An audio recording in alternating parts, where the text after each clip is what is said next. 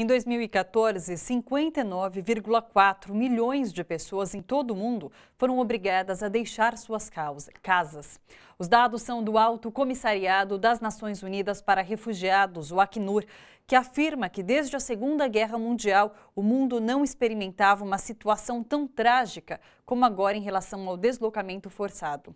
Os, mo os motivos são guerras civis, conflitos armados e perseguições por conta de raça, religião, nacionalidade, grupo social ou opinião política. Desse total, 19 milhões e meio são refugiados e parte deles vive no Brasil. Com o crescimento dos pedidos de refúgio para o Brasil, o Ministério da Justiça anunciou mudanças no Conselho Nacional para os Refugiados. O governo brasileiro passou a colocar em prática uma série de medidas para desburocratizar a recepção e o acolhimento dos refugiados. O novo sistema prevê consultas às embaixadas dos países de origem e a monitoração da situação dos estrangeiros que solicitam refúgio.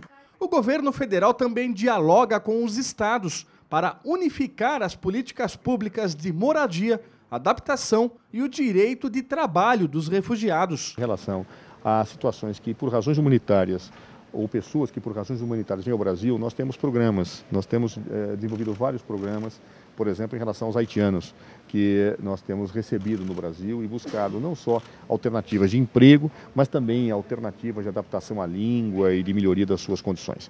Isso é uma realidade, ou seja, quando você abriga uma pessoa em solo brasileiro, não basta apenas reconhecer o direito de permanência, mas você tem que buscar a sua inserção social. Para isso, você precisa desenvolver programas e, ao mesmo tempo, buscar uma conscientização de todos os cidadãos cidadãos e que seres humanos devem ser tratados sempre com dignidade. Nos últimos quatro anos, dobrou o número de refugiados no Brasil.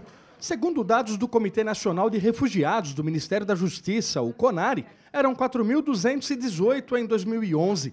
Atualmente são 8.400 mais de 12 mil solicitações de refúgio no Brasil ainda aguardam julgamento do CONARE. Segundo o órgão, 2077, o maior contingente de refugiados já aceitos vem da Síria. Somados, angolanos, colombianos e libaneses já são mais de 3 mil.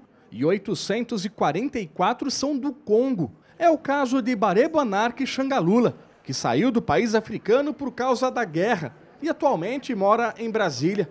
Ele conta que chegou em 2011 e que logo pôde trabalhar. Cheguei aqui no Brasil, teve um pouco tempo para conseguir meu documentação como refugiado.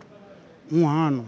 Bareboa lembra que no primeiro ano também lecionou francês, a língua oficial do Congo, e que isso o ajudou a aprender rapidamente o português.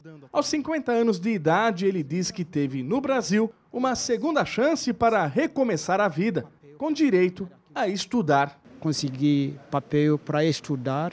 Até agora estou fazendo minha faculdade no UNB. Isso é um avanço muito grande aqui no Brasil, para falar com todo mundo. Qual o curso? Estou fazendo ciência política.